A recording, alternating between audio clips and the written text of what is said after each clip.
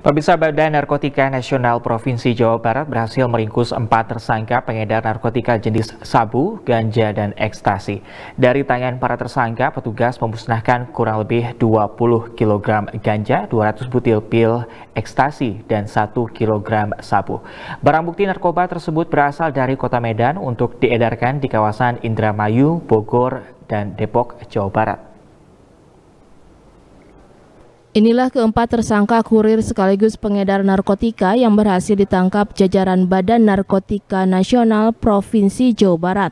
Para tersangka ini diketahui mendatangkan narkotika dari kota Medan untuk diedarkan di kawasan Indramayu, Bogor, Depok, Jawa Barat.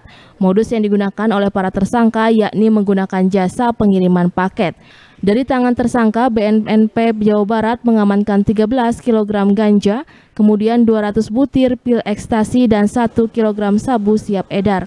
Barang bukti narkotika yang telah diamankan kemudian dimusnahkan dengan menggunakan alat inseminator yang didatangkan dari Korea.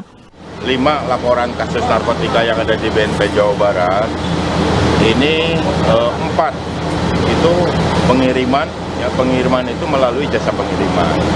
Nah kalau yang satu sabu itu itu memang e, berdasarkan informasi dari masyarakat, ya, bukan dari jasa pengiriman. Dari di mana? Di mana? E, semuanya pengiriman dari Medan.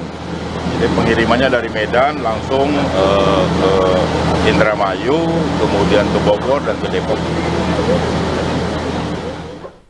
Atas tindak pidana yang dilakukan oleh para tersangka, mereka dijerat pasal 114 ayat 2 junto pasal 11 ayat 2 Undang-Undang Nomor 35 Tahun 2009 tentang narkotika dengan ancaman 20 tahun penjara atau seumur hidup. Yona Kurniawan, Bandung TV